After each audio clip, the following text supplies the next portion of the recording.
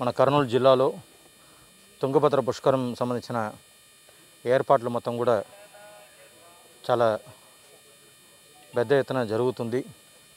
దీనికి సంబంధించి ఘాట్లు నిర్మాణించడం రోడ్లు వేయడం మళ్ళీ తుంగభద్ర పుష్కరాలు జరుగుతున్నప్పుడు వచ్చే భక్తులకి ప్రజలందరికీ కూడా కావాల్సిన తాగునీటి సౌకర్యాలు toilets sanitation dress changing rooms మళ్ళీ లైటింగ్ ఇవన్నీ కూడా అరేంజ్ చేయాల్సిన అవసరం ఉంది.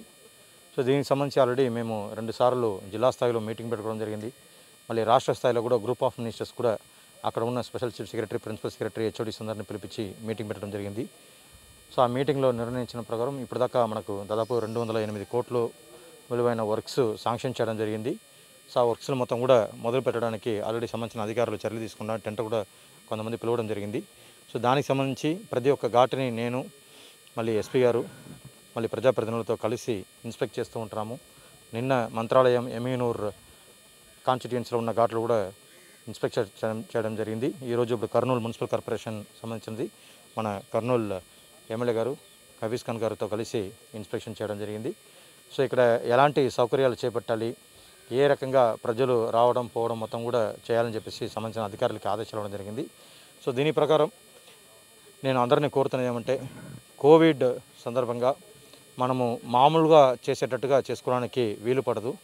సో ఖచ్చితంగా మనము వచ్చే మూమెంట్ని తగ్గించాల్సిన అవసరం ఉంది గ్యాదరింగ్ని రిస్ట్రిక్ట్ చేయాల్సిన అవసరం ఉంది.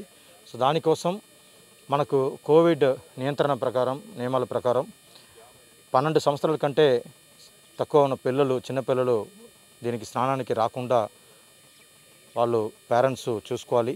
మళ్ళీ యాభై సంవత్సరాల కంటే ఎక్కువ ఉన్నవాళ్ళు కోమార్బిడిటీస్ ఉన్నవాళ్ళు సిమ్టమ్స్ ఉన్నవాళ్ళు కూడా అలా చేయకుండా వాళ్ళు కూడా చాలా జాగ్రత్తగా వాళ్ళని చూసుకోవాల్సిన అవసరం ఉంది.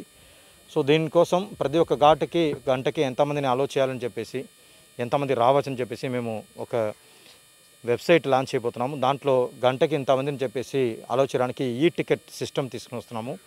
సో ఎవరు స్నానం చేయాలని అనుకుంటున్నా వాళ్ళందరూ కూడా ఈ టికెట్ తీసుకోవాలి. ఈ టికెట్ తీసుకున్న వాళ్ళని మాత్రమే అలో చేస్తాము. ఓన్లీ థర్టీన్ ఇయర్స్ నుంచి ఫిఫ్టీ ఇయర్స్ లోపల ఉన్న వాళ్ళు మాత్రమే స్నానం చేయడానికి ఆలోచిస్తాము. మిగతా వాళ్ళందరం కూడా ఇంటి నుంచే దర్శనం చేసుకోవాల్సిందిగా కోరుతున్నాం ఎందుకంటే మనకు ఈ కోవిడ్ ఇన్ఫెక్షన్ సందర్భంగా చాలా మనకు ప్రాబ్లమ్స్ ఉంటున్నాయి కాబట్టి ఆల్రెడీ ఫేస్ చేస్తూ ఉంటాం సో దాన్ని పూర్తిగా అధిగమించాలంటే మనందరూ కూడా ఒకరికొకరు దాన్ని అర్థం చేసుకొని సహకరించుకోవాలి. దీనికోసం ప్రత్యేకంగా వాళ్ళు ఇంటికే ఈ తుంగభద్ర నది నీరుని పంపించడానికి పోస్టల్ డిపార్ట్మెంట్ బ్యాంకర్స్తో కొరియర్ ఏజెన్సీస్తో మాట్లాడుకుని వాళ్ళ ఇంటికే పంపించే విధంగా కూడా దాన్ని కూడా ఏర్పాటు చేస్తున్నాము. సో ఆ ద్వారా వాళ్ళు ఇది చేసుకోవచ్చు. మళ్ళీ ఇవన్నీ కూడా పాటిస్తే ఖచ్చితంగా ఈ పుష్కరాలని చాలా బాగా మనము అందరం కూడా కలిసి సంతోషంగా ఏర్పాటు చేసుకోవచ్చు. సో అందరం కూడా సహకరించవలసిందిగా కోరుతున్నాం.